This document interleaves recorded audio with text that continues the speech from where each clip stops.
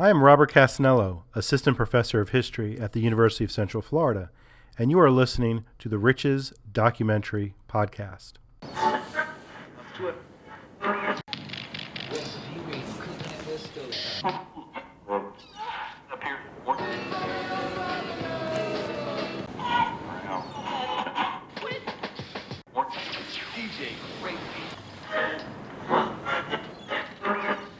Welcome to the Riches Documentary Podcast.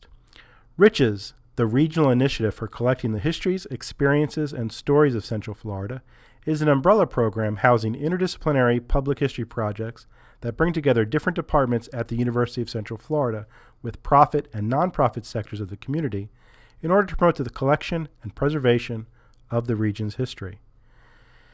By facilitating research that records and presents the stories of communities, businesses, and institutions of Central Florida, Riches seeks to provide the region with a deeper sense of its heritage.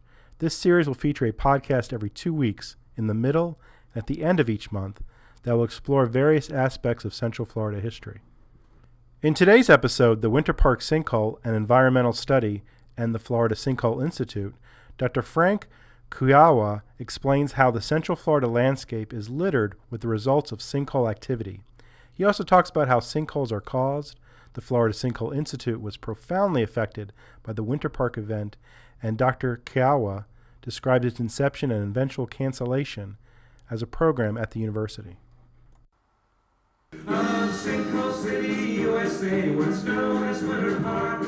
Be careful driving through that town, especially after dark. You'll find yourself in the middle of a pit, all covered up with dirt. That sinkhole swallowed Winter Park, and it didn't even burn.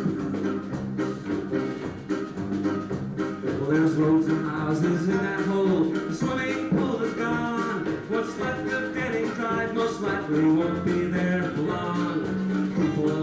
Excited, they come from miles around to see those six new Porsches lying buried in the ground. Oh, the sinkhole city, USA, what's known as Winter Park.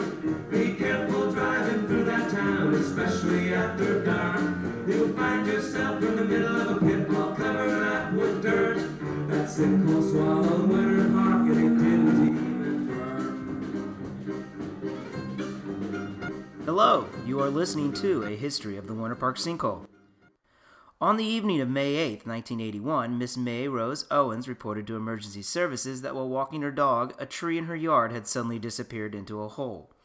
What soon followed over the next few days was the development of a crater like depression that measured over 335 feet across, 110 feet deep, and caused over $4 million worth of damages to businesses and property.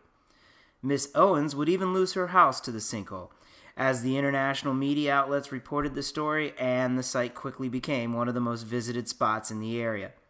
In this program, we will be talking to Dr. Frank Kujawa about the causes and effects of sinkholes in Central Florida, along with a brief history of the Florida Sinkhole Institute.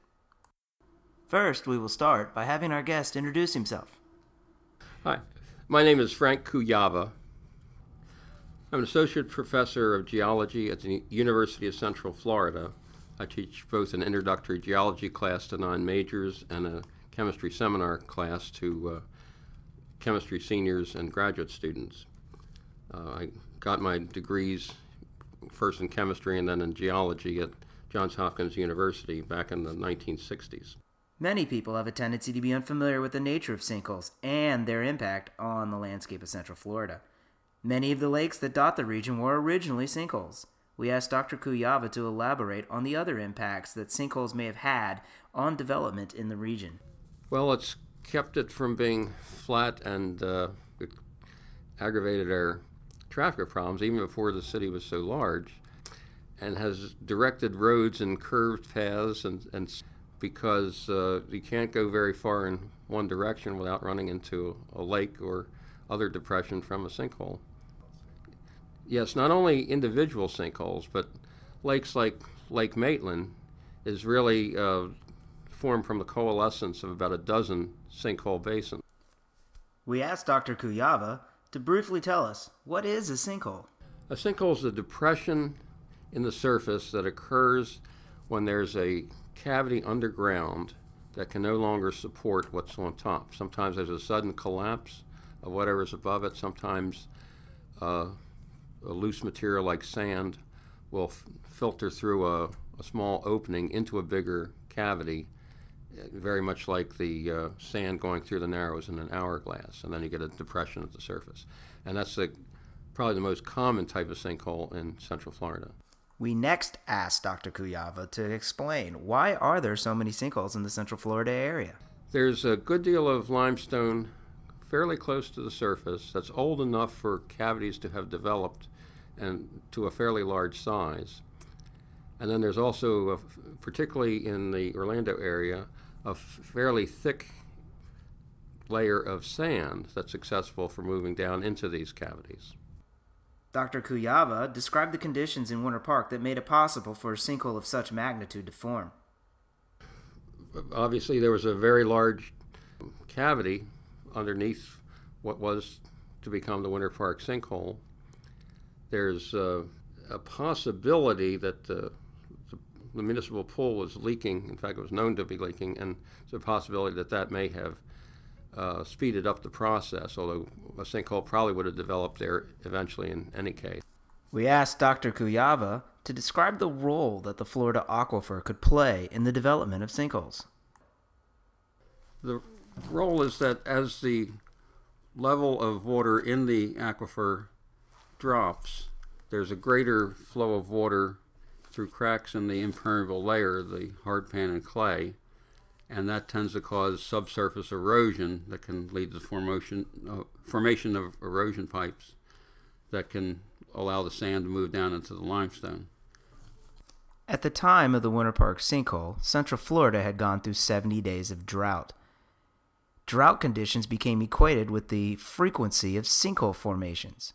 We asked Dr. Kujawa if it was true that drought conditions indeed caused more sinkholes. It's mostly what we do during a drought. We tend to pump water heavily, and that drops that level in the uh, limestone, and as a result, the water flows more readily from sand to limestone and uh, causes that subsurface erosion. In the early 80s, Florida was a growing state with a booming population. Concerns began to develop that this population was drawing or pumping more water out of the aquifer than could be replenished. By the time of the Winter Park sinkhole, these concerns grew to a fever pitch. The possibility of numerous more sinkholes occurring was coupled with the idea of caverns underground, once full of water but now emptied, littering the landscape. We asked Dr. Kujawa if these images of underground caverns were legitimate threats, and if concerns about draining the aquifer at the time were valid. Not really. That's, that's the way that the situation is often portrayed in newspapers and so on. But the in most cases, it's a more a matter of just the water running from one level to another from the sand into the limestone through whatever cracks are available and causing subsurface erosion. The uh, idea of a big cavern being down there that is likely to collapse is true in some places, but not usually here. Here it's more like an hourglass effect than it is like a uh, a cavern that gets a thin roof and the roof collapses. We're, we're just now beginning to lower the permanent water level in the aquifer. Back then, it seemed like we were keeping the rain was pretty well keeping up with us. So, we, if we dropped the level temporarily, we could trigger sinkholes, but we weren't in that great a danger of actually using up all our water.